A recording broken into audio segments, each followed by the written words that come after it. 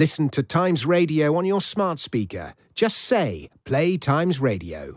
Early breakfast with Rosie Wright on Times Radio. 19 minutes past five. Uh, well, the Times uh, talks about, as Thea's just been explaining, uh, that sort of dispute now between some of the big tech firms and the big characters in it and the Prime Minister. It says Musk draws fire from the Prime Minister with a claim uh, of civil war, and tech firms have been told do more to curb disinformation. There is a fantastic photograph of Keely Hodgkinson, who's just 22, uh, celebrating winning that first athletics gold medal on the front page of the paper. She's been given a crown, which I think uh, suits her well, and my goodness, doesn't she deserve it uh, after yesterday? Uh, Queen Keely reigns uh, in Paris uh, is the front page of the Times.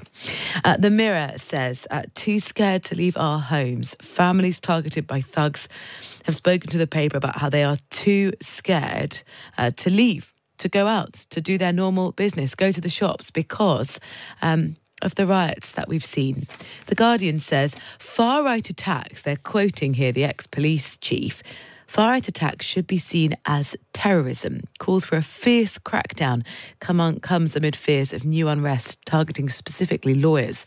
There's more of that inside the Times as well. Here to go through the papers with me is Andrew Eborn, the barrister, broadcaster, and president of Octopus TV. Andrew, good morning. Uh, good morning, Rosie. Always a joy to join you. Uh, with your sort of legal hat on, yes. um, the, this argument that these attacks should be seen as terrorism, um, what what do you make of that? Would that be appropriate?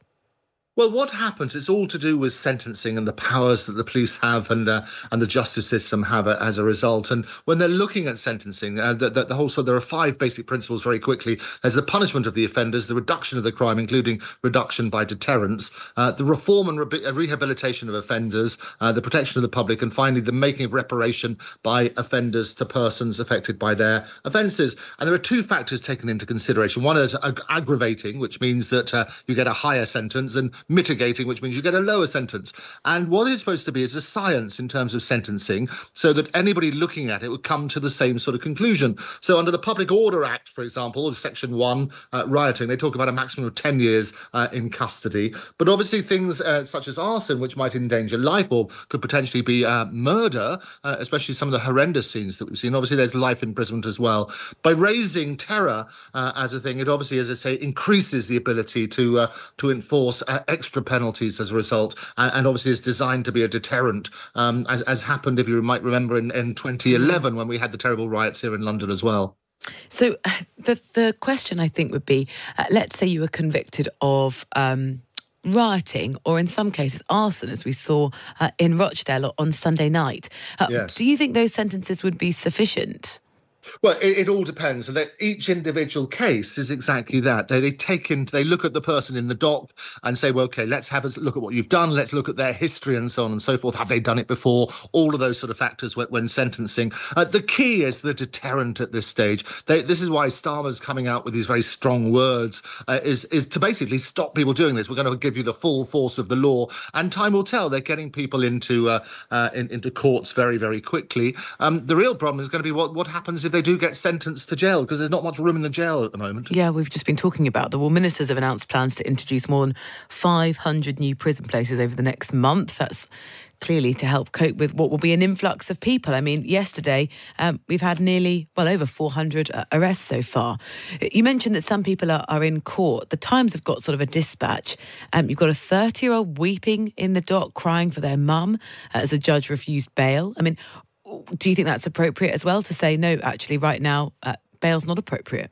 Well, what, what's happening at the moment, and it's very, very clear, is they want to shine a spotlight on these offenders and say, okay, we're going to hit you with the full force of the law, uh, and that's what's going to happen. The idea is to try and quell, if you like, uh, the terrible rights, the terrible scenes um, where uh, we are the United Kingdom, but anything but united. And, and the appalling thing, Rosie, uh, they all claim it's to do with the murder of these three girls, and it's got absolutely mm. nothing mm. to do with that. It's, I think, it's appalling, and you, you see the families and, and, and, the community begging them not to basically uh, use this as an excuse. I mean, what looting and nicking a television set from a shop has to do with the murder of three little girls uh, is, is, beyond yeah, me. Yeah, it's some of the well, the defences that have been given by the people who took part make for interesting reading. There's a 14 year old boy who was caught launching fireworks when violence broke out in Liverpool. He told police officers, Sorry, I wasn't firing at you. I mean, this, this is teenagers. What is incredible, Andrew, when you look at some of the videos, people are bringing their children along.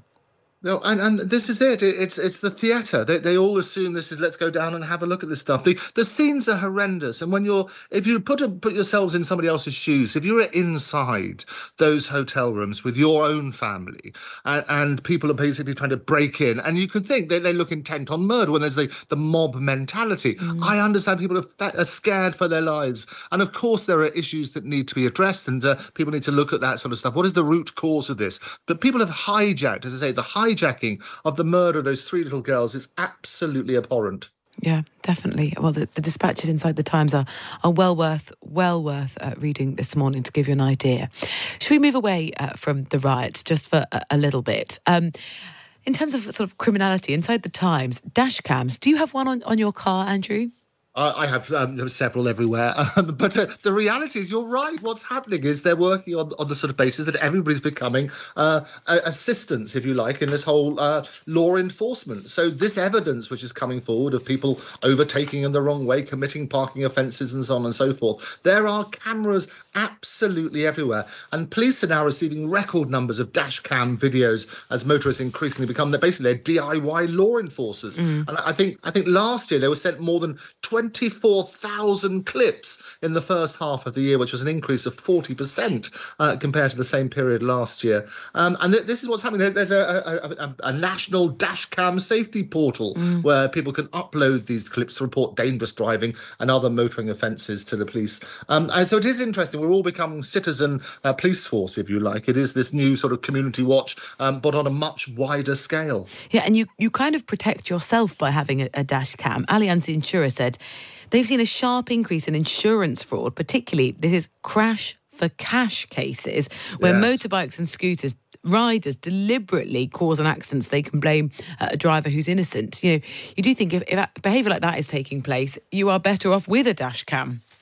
Oh, absolutely. And lots of cyclists. I know lots of cyclists be listening to your brilliant program as they head off, or maybe whilst they're on the roads. Um, and, and the reality is, yes, whenever there's accidents and so on and so forth, people not taking uh, care of uh, cyclists as they go along, uh, every single day we are recorded several times, uh, and that footage can be used against us uh, as an appropriate measure. And, and you see how quickly people are now being identified, whether it's on uh, door cameras, which, which they've got there on these sort of doorbells and so on and so forth, or people wearing them on their helmets on cycles, or indeed, as you say, the dash cams. Um, Freddie Flintoff is in lots of the papers this morning. Front page of the Sun. He's done an interview. He says. I shouldn't be here after my Top Gear smash. I'm sure we all remember um, that crash that he had two years ago. He has spoken out so sort of heartbreakingly about the anxiety that he's feeling, saying I was crying every two minutes. I mean, yeah. uh, what what do you make of sort of well what happened and, and the repercussions that it's had on him? Well, it, it's I, I always admire people in the public eye who who have used the platform to talk out about mental trauma and so on and so forth. If you prick me, do I not bleed? If you tickle me, do I not laugh? Uh, the old Shakespearean quote. Um, and exactly, it's absolutely awful. He he said that he was left suffering anxiety and nightmares and flashbacks after his horrific Top Gear crash. Um, and basically, he he recorded a video on his mobile phone from his hospital bed uh, when he was struggling to recover from his injuries, and it was hmm. made days after he was airlifted. You might remember from Dunsfold Aerodrome in Surrey. It was all the way back in December 2022, uh, following the accident in freezing temperatures. And and Top Gear's had a well, it's had a couple of accidents. You might remember Hammond, uh, the hamster. Of course, um, yeah. Yeah, he, he he had a similar sort of thing, and it's it's it's tricky, isn't it? But I, as I say, it's uh, having people in the public eye talking about their torment because there'll be lots of people who can identify with this, and having somebody so publicly talking about it um, has has got has got to be good. Um, but no, my heart goes out to him. It, it clearly is uh, a horrendous um, a nightmare which he keeps living. Yeah, definitely. It's it's sort of a It's a heartbreaking read, actually. He's got a new series um, coming out, which is partly why he's done the interview, and it gives you an Ah. idea and uh, an insight uh, into just how he's feeling and how he still is feeling uh, two years on. Um, we talked about dash cams to catch criminality. Um, there is a fantastic story from this casino in Paris where Yes. really it's a scam. The paper says worthy of a Hollywood heist. Two gamblers have been charged with defrauding a French casino because they used phones rigged with hidden tiny cameras to photograph cards as they were dealt. And unfortunately for them, their luck is very much out. Oh no, you're absolutely, and, and as you know, I'm a member of the Magic Circle, where we use magic and not, not none of this sort of uh, uh, fake trickery with technology. Um, and the, the reality, the reality is this: is that yes, people try to defeat the casinos all the time, and it is the stuff of movies, isn't it? People think, oh, good, good heavens, it's James Bond all over a little gadget from Q, and off we go again. Um, but clearly, criminality was involved. They had these tiny cameras, as you say, on their mobile phones. They had an earpiece, so um, they they could get their accomplices outside, telling them what was going on uh, and, and and they could basically try to cheat the casino that way, but the casino always wins. Yeah, I mean, I think what they did is put a camera on the side of their phone and then put their phone face down uh, on the table and then taking photographs from what would be a miniature camera. They Yeah. then send that back to someone who sat in a van outside the casino who takes a look at it and then relays the information via you know microscopic earpieces to another player uh, sat at the table. Unfortunately, Yeah. uh, they've been foiled. Uh, it's a really good story uh, inside the Times this morning uh, and well worth a read. Um, Andrew, thank you so much going through the papers with me this morning. Barrister, broadcaster, president of Octopus uh, TV. It was very good to have your uh, legal head this morning over what has been quite a thorny uh, six days uh, here in the United Kingdom. Across the UK, on DAB, online, and on your smart speaker. This is Times Radio.